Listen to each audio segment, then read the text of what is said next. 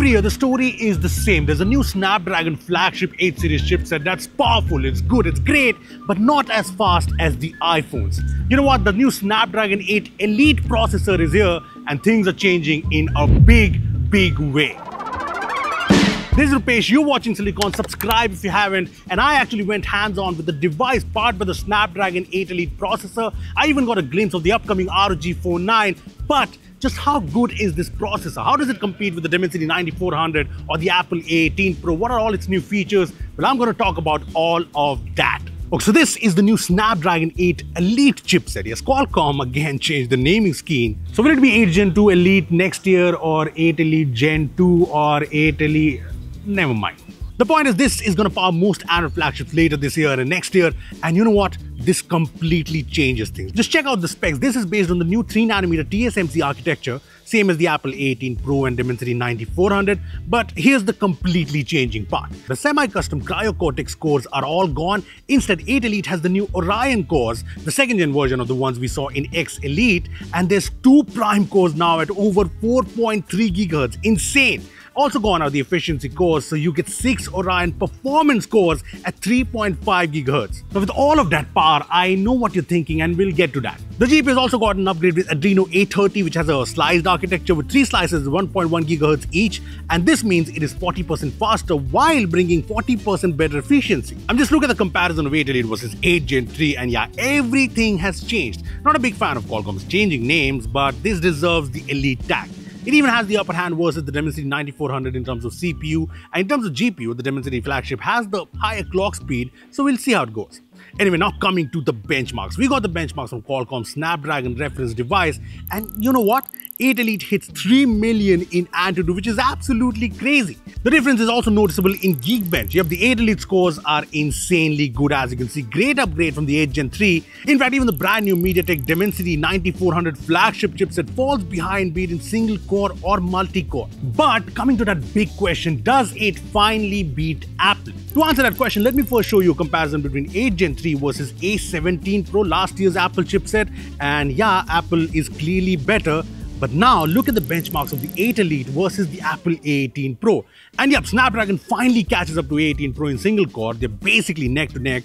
But the crazy part is it annihilates Apple in the multi-core test. Yep, finally. But as does the CPU, what about the GPU performance? I mean, these are the 3D Mark Wildlife Unlimited scores, and the 8 Elite even beats the A18 Pro in the GPU department with an average of 159 FPS, while the A18 Pro scores 108 FPS in the same test. And more than anything, it's just great to see an Android flagship finally competing and in fact beating Apple in terms of raw performance. But with all that power, there is the doubt regarding thermals and battery life. Now, even with all the performance gains, Qualcomm is claiming better efficiency, and Asus mentioned that the new ROG Phone 9 has 30% more battery life in popular games like Genshin Impact and Wuthering Waves. So honestly, I'm not very doubtful regarding the battery life, but as for the thermals and the heating, I think we'll get a better idea once we have a retail device with Snapdragon 8 Elite, so we'll have to wait and see. Anyway, there's more to the 8 Elite. 8 Elite has the largest shared cache size, which should result in smoother multitasking, faster data access, you know, overall improving performance. There's also support for faster LPDDR5X RAM. The Qualcomm Hexagon NPU is 45% faster and supports multimodal generative AI applications to work faster on device. It even works with the upgraded ISP to bring features like object eraser in videos. I'm not kidding. And this takes a bit of processing time, obviously, but the fact is, this works on device. This is crazy, and I think this is one feature we'll see in the S25 phones. What do you think? Another cool feature was the ability to create a virtual light source for your videos using AI and again works on device. Now coming back to the ISP, now suppose 320 megapixel photo capture if someone dares to make a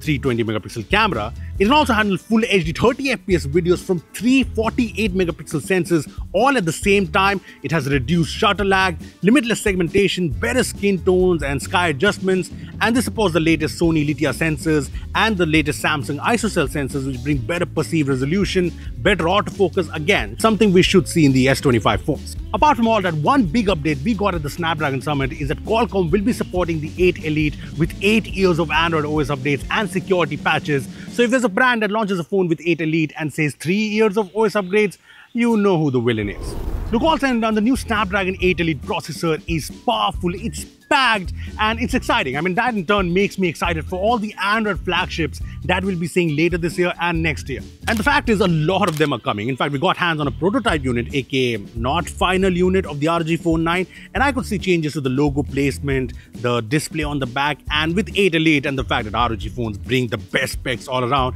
it's going to be crazy and probably overkill. I mean, all in all, with the new Snapdragon 8 Elite processor, Android flagships will finally beat Apple in terms of raw performance while bringing in efficiency gains, and that is absolutely awesome. And in what I actually hope more apps and more games make use of all this performance. And as for thermals, like I said, we'll have to wait and see, which we should soon. So make sure to subscribe, hit that bell icon, and thanks for watching. I'll see you in the next one.